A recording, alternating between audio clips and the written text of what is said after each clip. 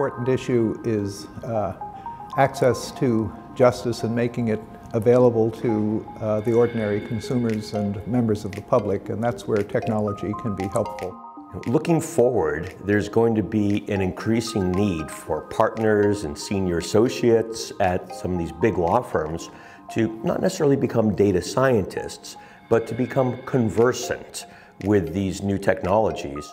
So we are collaborating on the competition on legal information extraction and entailment called COLIEE. We learn about how to take um, legal information and cluster it so that it expedites the identification of relevant information, like in the case law. So um, we try to accelerate the job of lawyers by having them be more accurate in less time.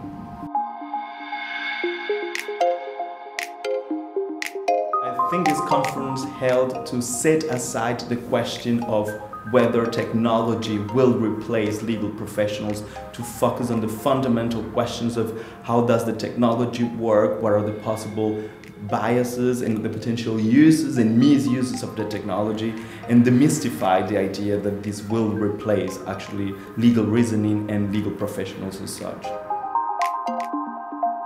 The methods that we are using boil down to uh, advanced uh, machine learning, deep learning, for uh, documents, text uh, mining and NLP, including also graph mining. So the use of these methods um, can contribute uh, to understand how courts decide, how judges decide, um, how lawyers take strategic decisions, but also improve the decision-making process of all legal professionals.